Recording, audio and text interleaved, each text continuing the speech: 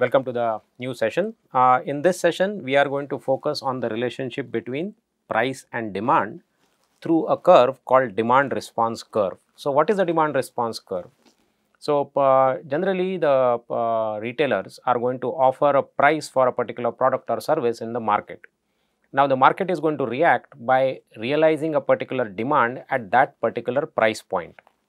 So, the demand response curve essentially tells us what is the realized demand at a price that is offered for a particular product or service. Now, why is this a business analytics topic? Uh, well, uh, the, the demand response curve itself uh, uh is a, is a uh, two, uh, two variable plot, price on the x axis and demand on the y axis, price on the x axis, demand on the y axis. So, at a particular, so we keep changing the price and we keep realizing the demand at that particular price. So, uh, today's uh, uh, session or a couple of sessions are going to focus on how do we estimate this demand response curve.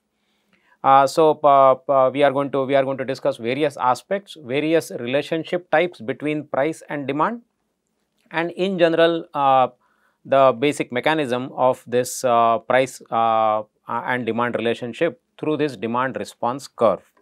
Okay. So, uh, uh, typically uh, this is what uh, uh, a demand response curve is going to look like. Uh, so, we have the, this this particular curve rough curve which is down like this this is this is what we are going to call as demand response curve. So, what what what does it say? So, at a particular price let us say P1 this is the price offered and you hit the curve, you look at this left and this Q1 is the quantity demanded by the market at that particular price point. Now, uh, we know that uh, we are going to adjust our demand based on the prices that are offered in the market. For example, if price is P3, uh, the quantity that is going to be demanded by the market is going to be Q3. So, every uh, retailer has to decide what is the best price and let us let us call this best price as P star. What is the best price to be offered for that particular product or service?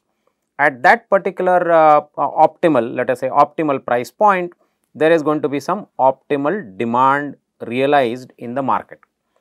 Now, uh, let us say that uh, we make a mistake in uh, calculating this optimal price and we end up uh, we end up uh, pricing more, right? We end up pricing more. Uh, there is always a potential for the retailer to reduce the price, which means go left, uh, to, to, reduce the price and capture more demand, right? Because at P star, the demand is going to be Q star. If we reduce the price, if we reduce the price from P star to P1, the demand is going to jump up from Q star to Q1. So, uh, this is the this is there is always a latent demand which is realized by this part of the uh, uh, region right this this region represents the latent demand. How do we capture the latent demand? By reducing the price right by reducing the price we can capture more and more demand.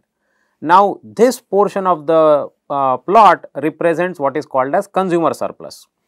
Now, consumer surplus essentially is the benefit that the consumer gets by paying less and less price. So, if we are actually increasing the price, if we are actually increasing the price from P star to P3 let us say, the consumer surplus is going to be eaten away that much. So, this uh, light blue shaded region is going to be the uh, reduction in the consumer surplus that the consumer is getting uh, because the price is at P star and not at P3 if the price are if the prices are increased from P star to P3 the consumer surplus is going to uh, consumer surplus is going to go down uh, by this much amount by the light blue region. So, uh, this is this is how the uh, this is how the uh, uh, region is going to be read. This is how the plot has to be read. As I was saying, so this optimal price P star has to be very carefully chosen uh, so, uh, if we reduce the price, there is always a scope to capture more demand. If we increase the price, uh, the consumer surplus may get affected. Uh, we are, I mean, just like we are talking about consumer surplus, we can talk about the uh, producer surplus. Uh, I mean, I'm, I'm, I'm pointing you to the basic economics course, which is slightly outside the current discussion on forecasting the curve, but nevertheless important for the discussion. Uh, another important uh, question then is uh, if this is the price uh, if if this is the demand response curve uh, how should the how should the retailer decide this optimal price? What should be the objective of uh, finalizing this price? Now there are a couple of ways that we can go about. One is what is called as a revenue maximizing price. A revenue maximizing price. uh,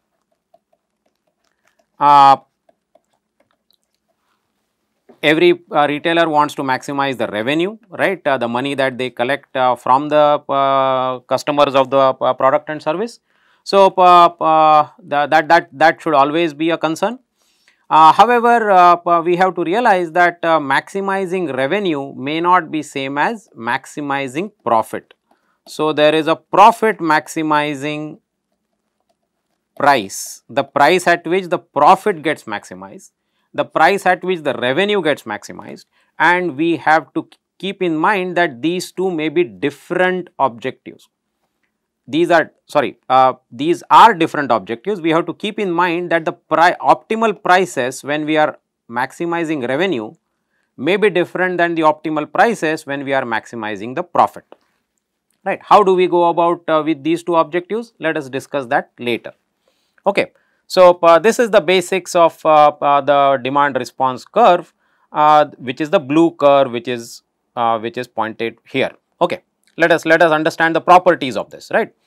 So, uh, this is essentially this is essentially a function that describes how the demand varies as a function of price very similar to the demand supply curve in economics. however, this is for a single seller uh, in a single market, right? Uh, uh, whereas the demand supply curve aggregates various supply in the market, aggregates various demands in the market, right?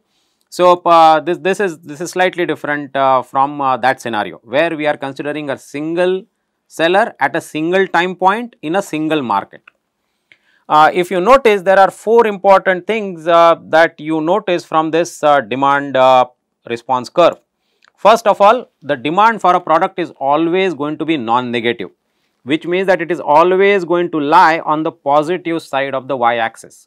You cannot have demand going negative, right? You cannot have demand going less than 0, does not make sense, right? Demand cannot be negative. So, the demand response curve is always going to be on the positive side.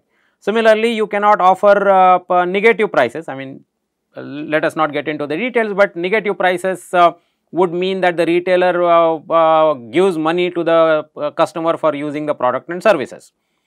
Generally does not happen in the uh, uh, in the market. Therefore the, even the prices are going to be prices are going to be on the positive side. So you you don't expect prices to go on the negative side right? Prices the the lowest price is going to be 0 we are not going to look at a case where negative prices are even possible right? So the curve is going to be non negative in both the senses the demand is going to be positive, even the prices offered in the market are going to be positive, right. It is, it is going to be a continuous curve. So, this is going to be a, uh, this is going to be a nice smooth continuous curve uh, without any breakages, right, without any breakages. So, uh, uh for example, uh, this is the, uh, this is the price and this is the demand. you do not expect something like this, right, which means that you do not know you do not know uh, what the uh, demand is going to be uh, between these two price points right. so, what, what, is, what is going to be the demand? So, are we saying that there is no demand, but that also means the demand is 0. So, there is not going to be a discontinuity in the curve, there is not going to be a discontinuity in the curve. Very similarly, there is the, the curve is going to be very smooth and differentiable which means that uh, tangent is always possible tangent is always possible at all the uh, all the price points right? Uh, tangent is always possible at all the price points. So the curve is also going to be differentiable. And uh, uh unless we are talking about very very specialized uh, goods uh, that the curve is generally going to be downward sloping. What does it mean?